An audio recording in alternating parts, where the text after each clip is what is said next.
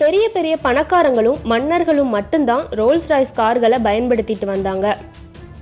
இப்படிப்பட்ட இந்த விலையுயர்ந்த கார்களை ரோட்டை சுத்தம் பண்ணுறதுக்கும் குப்பை அள்ளுறதுக்கும் மட்டுமே யூஸ் பண்ணி லண்டனையே அலற விட்ட ஒரு இந்திய மன்னரை பற்றி தான் இந்த வீடியோவில் நம்ம பார்க்க போகிறோம் ராஜஸ்தானில் ஆழ்வாருங்கிற நகர ஆட்சி செஞ்சவர் தான் இந்த ஜெய்சிங் மகாராஜா.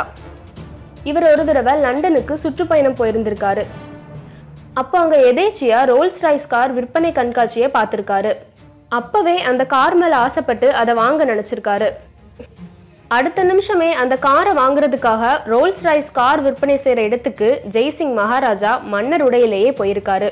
அப்போ அங்கிருந்த ஊழியர்கள் எல்லாம் இவரோட மன்னர் உடைய பார்த்து ஏளனமா சிரிச்சுட்டு மகாராஜாவை அங்கிருந்து வெளியே அனுப்பிச்சிட்டாங்க. இதனால அவருக்கு பயங்கரமாக கோபம் வந்து அவரோட விடுதி அறைக்கு போயிட்டாரு.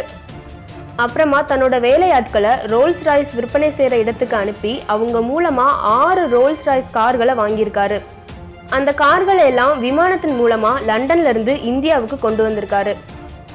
ஜெய்சிங் இந்தியாவுக்கு வந்ததுக்கு அப்புறமா அவருக்கு இருந்த கோபத்தினால அந்த ரோல்ஸ் ராய்ஸ் கார்களோட ரெண்டு பக்கமும் துரப்பத்தை கெட்டிவிட்டு ரோட்டை சுத்தம் பண்ணுற குப்பை வண்டியாக மாற்றிட்டாரு மகாராஜாவோட அந்த அதிரடி முடிவு உலகம் முழுவதும் பரவிடுச்சு. இதனால அமெரிக்கா அப்புறம் ஐரோப்பாவில் ரோல்ஸ் ராய்ஸ் கார்களை பயன்படுத்திட்டு வரவங்க கிட்ட எல்லாரும் நீ இந்தியாவில் குப்பல்ற கரையை பயன்படுத்திட்டு வரேன்னு கேலி பண்ணி சிரிக்க ஆரம்பிச்சிட்டாங்க. இந்த காரணத்தினால ரோல்ஸ் ராய்ஸ் காரோட மதிப்பு உலக அளவில் குறைய ஆரம்பிச்சிருச்சு. இதை அறிந்த ரோல்ஸ் ராய்ஸ் நிறுவனம் தங்களோட தவறை உணர்ந்து மகாராஜா கிட்ட மன்னிப்பு கேட்டாங்க. அதுக்கப்புறமா மன்னரோட மான நஷ்டத்திற்காக ஆறு ரோல்ஸ் ராய்ஸ் கார்களை பணம் வாங்காம அன்பளிப்பாக மன்னருக்கு கொடுத்தது. அந்த நிறுவனம் தங்களோட தவறை உணர்ந்து மன்னிப்பு கேட்டதுக்கு அப்புறமா தான் மகாராஜா அந்த கார்ல இருந்து துரப்பத்தை அகற்றினாராம்.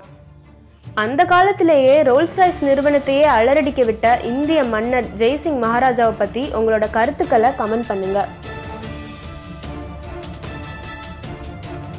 மேலும் இது போன்ற புதிய தகவல்களை தெரிஞ்சுக்க மசால் வடை சேனலை சப்ஸ்கிரைப் பண்ணுங்கள்